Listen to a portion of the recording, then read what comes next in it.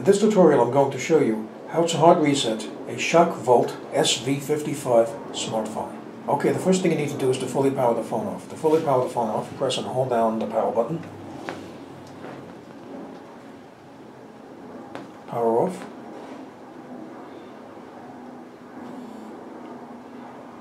Okay, with the phone fully powered off, you need to press and hold down the power button and the volume up button at the same time until you see a screen appear.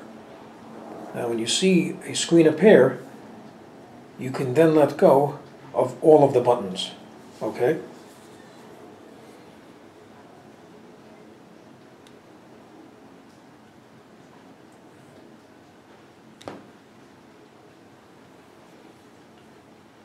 Okay, now this screen is going to turn into another screen that's going to show no command. Okay, now the next thing you need to do is to press and hold down the power button and the volume down button at the same time for five seconds.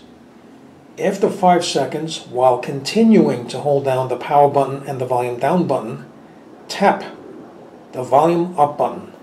Okay?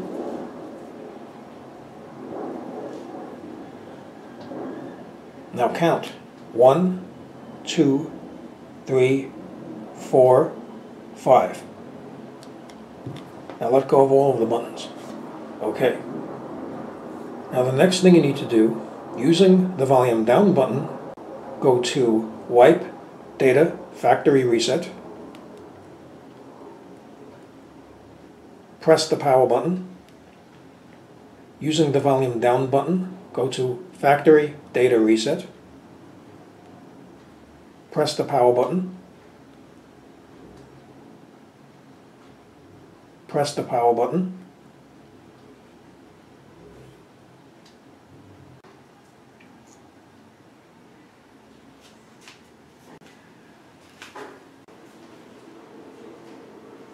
And there you go, the hard reset is now complete. So I hope you found this video useful. If you have, please show your support for this channel by subscribing. Feel free to leave comments. Please like up this video, and thank you for tuning in.